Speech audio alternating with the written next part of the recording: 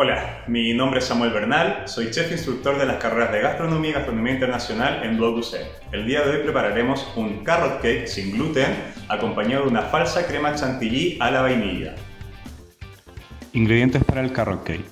Canela molida, nuez moscada, clavo de olor, esencia de vainilla, polvos de hornear, aceite de oliva, nueces, pasas, harina de almendra, miel de maple, huevos, zanahoria, naranja.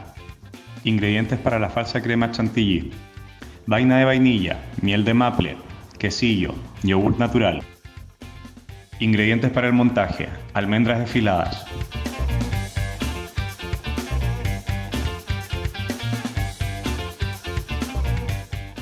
Para el bizcocho de manzana, batir los huevos con el azúcar, agregar el jugo de naranja, la vainilla, el aceite y el ceste de naranja.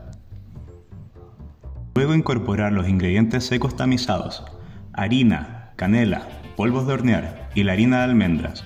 Mezclar y agregar. Disponer en moldes individuales engrasados o encamisados con papel mantequilla. Hornear en horno precalentado. Para la compota de manzanas, realizar un almíbar y cocer las manzanas en parmentier junto con el jengibre rallado. Reposar la preparación hasta que se enfríe y mixear para obtener un puré. Reservar.